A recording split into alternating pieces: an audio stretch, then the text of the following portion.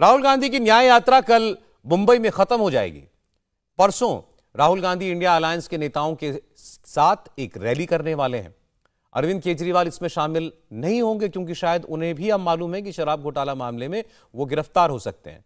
इसलिए अरविंद केजरीवाल ने राहुल की रैली में खुद के जाने की बजाय सौरभ भारद्वाज को भेजने का फैसला किया था। लेकिन आज राहुल गांधी की रैली से पहले केजरीवाल अब अगर अरेस्ट हो गए तो राहुल गांधी की रैली होने से पहले ही यह फ्लॉप हो जाएगी। रविवार को मुंबई में होने वाली इस रैली में अब तक एनसीपी की तरफ़ से शरद पवार, शिवसेना से उद्धव ठाकरे, समाजवादी पार्टी से अखिलेश यादव, आरजेडी से तेजस्वी यादव, डीएमके के M K Stalin, National Conference के अध्यक्ष फारूक अब्दुल्ला, झारखंड के मुख्यमंत्री चंपई सोरेन, पूर्व मुख्यमंत्री हेमंत सोरेन की पत्नी कल्पना सोरेन, आम आदमी पार्टी से सौरभ भारद्वाज, सीपीआई एमएल के दीपांकर भट्टाचार्य, इन तमाम लीडर्स ने अपना होना कंफर्म कर दिया है। वहीं लेफ़्ट पार्टियों के लीडर्स ने राहुल गांधी की रैली में शामिल होने की बात अभी तक कंफर्म नहीं की है। वैसे कांग्रेस ने राहुल की रैली का न्योता ममता बनर्जी की तृणमूल कांग्रेस को भी दिया है। लेकिन ममता बनर्जी अब खुद जख्मी हैं बेड रिडन हैं। उनकी पार्टी ने कांग्रेस के इन्विटेशन पर कोई जवाब नहीं दिया। राहुल गांधी की न्याय यात्रा दरअसल आज ठाणे में थी। राहुल गांधी ने अपनी रैली में इलेक्टोरल बॉन्ड्स का मुद्दा उठाया। उसके बाद इसी मुद्दे पर उन्होंने प्रेस कॉन्फ्रेंस की। इल्ज़ाम लगाया कि बीजेपी ने जाँच एजेंसियों का इस्तेमाल चुनावी चंदा जुटाने के लिए किया। कारोबारियों के यहाँ, कंपनियों के यहाँ छापे डलवाकर उनसे इलेक्ट्रोल बॉन्ड्स की शक्ल में चंदा लिया। और राहुल गांधी ये भी कह रहे थे कि इलेक्ट्रोल बॉन्ड्स दुनिया का सबसे बड़ा एक्सटॉर्शन रैकेट है।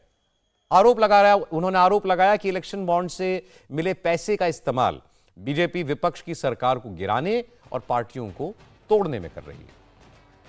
जो नरेंद्र मोदी जी ने इलेक्टोरल बॉन्ड का कॉन्सेप्ट रखा है, वो दुनिया का सबसे बड़ा एक्सटोर्शन रैकेट है। कंपनियों से हफ़्ता लेने का तरीका है। कंपनियों से कॉन्ट्रैक्ट्स का शेयर लेने का तरीका है। और शायद सबसे बड़ा, दुनिया में सबसे बड़ा भ्रष्टाचार का स्कैम है। पूरी कंपनी के लिस्ट अभी आई नहीं है। इसमें शेल कंपनीज़ हैं। इसमें सीबीआई ईडी से प्रेशर डाल के पैसा लिया जा रहा है। डेट्स हैं। कंपनी पर केस लगता है। उसी के थोड़े दिन बाद बीजेपी को पैसा मिलता है। हज़ारों करोड़ रुपए का कॉन्ट्रैक्ट मिलता है। कॉन्ट्रैक्ट का एक कट बीजेपी को डायरेक्ट मिलता है। तो ये प्रधानमंत्री का कॉन्सेप्ट है।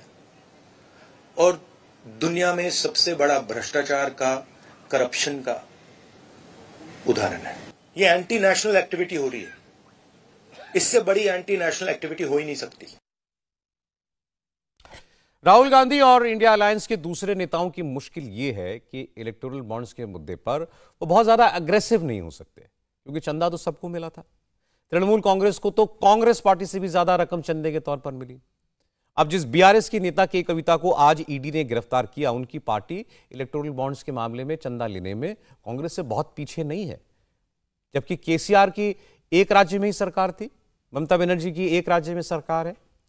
बीजेपी भी इस बात को समझ रही है कि अगर इंडिया अलायंस इलेक्टोरल बॉन्ड को मुद्दा बनाने की कोशिश करेगा तो विपक्ष की सारी पार्टियाँ गिरेंगी।